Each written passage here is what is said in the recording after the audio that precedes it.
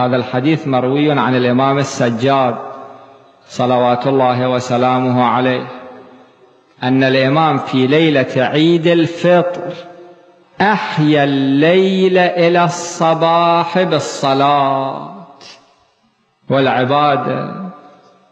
لا في البيت وإنما في المسجد. وقال الإمام إن هذه الليلة لا تقل عن ليلة القدر. كم نهتم بليلة القدر؟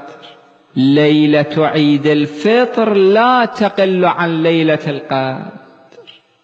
هذه الليلة وهذا اليوم كما يقول العلماء يوم توزيع الجوائز.